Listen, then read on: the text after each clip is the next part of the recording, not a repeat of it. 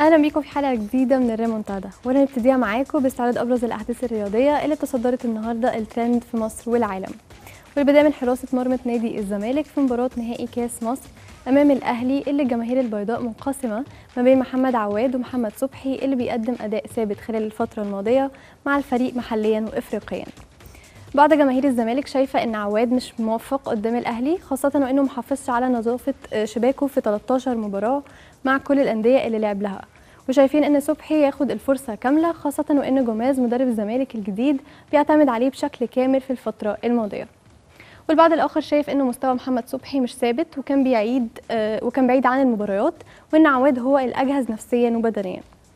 الأمر اللي دفع الجماهير على مواقع التواصل الاجتماعي المختلفة للتعليق على اختيار حارس الزمالك في المباراة النهائية وكتب رضوان بدير أول تعليق معانا.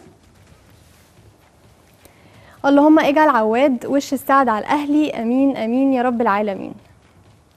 أما التعليق الثاني دكتور عماد بيقول آه هو أو صبحي مش فارقة المهم فرقتنا تركز وتنهي الهجمات بإذن الله ونستخف آه بالزم ولا نستخف بالزمالك. مش وقتها خالص ولا وقت إننا نديهم دفعة وفرصة يقفوا على رجليهم. آه تالت تعليق معانا صفحة إحصائيات وأرقام رياضية بتقول محمد عواد في كل الأندية اللي لعب ليها في مواجهات الأهلي سكن آه سكن شباكه 21 هدف خلال 13 مباراة. حافظ على نظافة شباكه في مباراة واحدة فقط.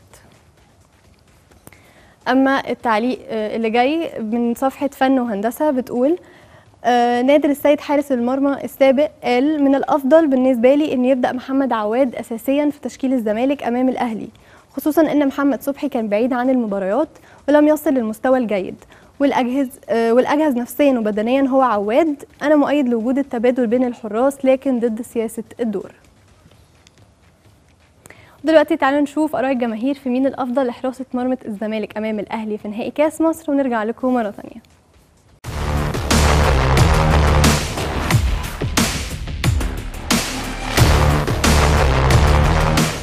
من وجهة نظر حضرتك مين الافضل بحراسة مرمى الزمالك في مباراة القمة؟ عواد طبعا. عواد. ليه؟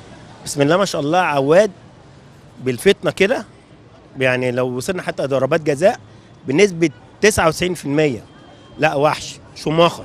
محمد عواد. لأن هو اللي عنده خبرة وبعدين مستوى محمد صبحي أصلا مش مش مش ثابت الفترة دي. لا طبعا هيبقى عواد إن شاء الله.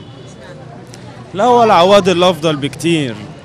وإن شاء الله في المنتخب وبإذن الله عواد اللي هيبقى أفضل وهيبقى نجم الماتش كمان. محمد عواد.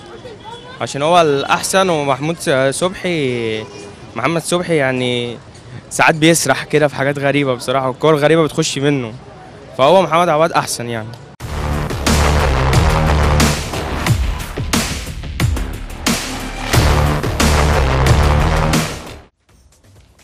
من الزمالك للأهلي اللي برضو جماهيره منقسمة لجزئين على مين هيقود الجهة اليمنى أمام الزمالك في النهائي.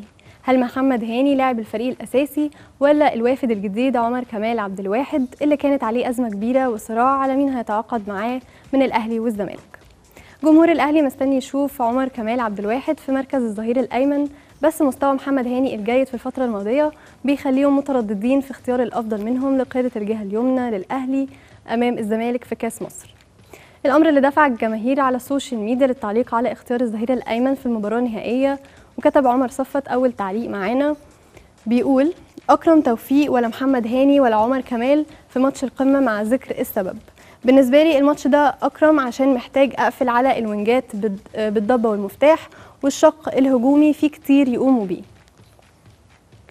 أما التعليق التاني من محمد سيد بيقول بالنسبة لي عمر كمال لأنه كويس جدا دفاعيا يقدر يقفل الجبهة اليمنى كويس جدا وكمان عنده نزعة هجومية مميزة وأنت محتاج الاثنين backات يقوموا بأدوار هجومية بالإضافة لل wingات.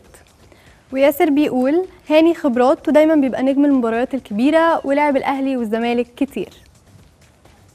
أما وائل الريس بيقول عمر كمال لأن أقوامهم هجومية لإن ال wing الشمال للزمالك اللي غالبا هيكون مصطفى شلبي أو ناصر ماهر مش بنفس قوة الوينج اليمين زيزو واللي هيقلل من صعود معلول للهجوم وبالتالي لازم الناحية اليمين تشتغل هجوميا أكتر. ودلوقتي تعالوا نشوف آراء الجماهير في مين الأفضل لقياده الجبهة اليمنى للأهلي أمام الزمالك في نهائي كأس مصر ونرجع لكم مرة ثانية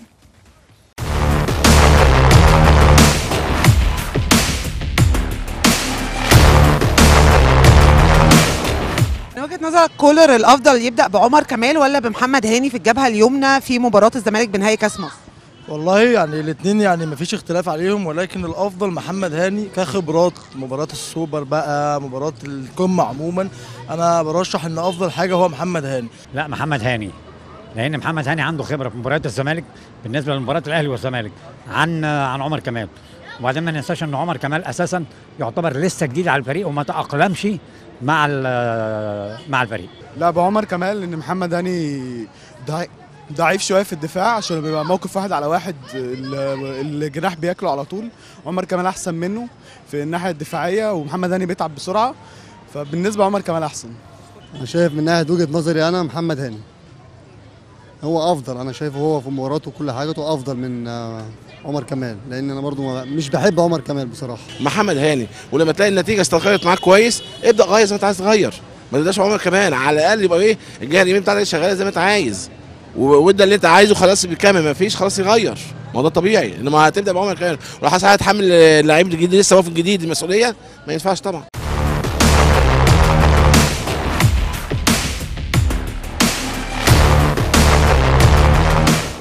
ومن الأهلي نروح لتنهاج مدرب فريق مانشستر يونايتد اللي مقدم أداء غير مرضي لجماهير الشياطين الحمر.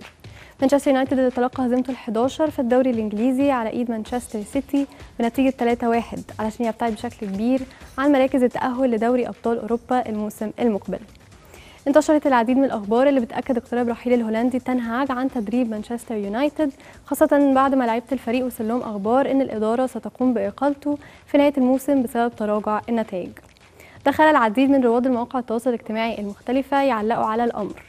وكتبت حوراء أول تعليق معانا بتقول يأمر السير جيم راتكليف في الحصول على دان أشورث في مانشستر يونايتد قبل إجراء مناقشات مع الأعضاء الرئيسيين الآخرين حول مستقبل تنهاج إنه يخشى إقالة تنهاج وتعيين مدير لا يتوافق مع دان أشورث.